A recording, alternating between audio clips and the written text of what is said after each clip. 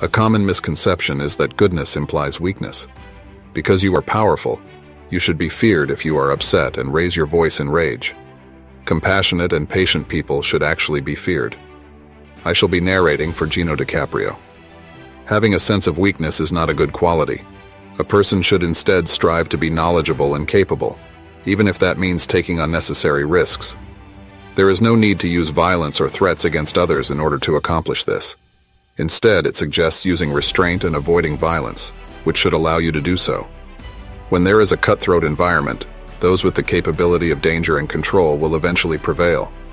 Rather than being a virtue, being harmless is a weakness. The ability to control one's emotions and propensity for violence are the characteristics of true moral virtue. Without power, a person cannot be truly good. So there you have it. Would you mind sharing your thoughts?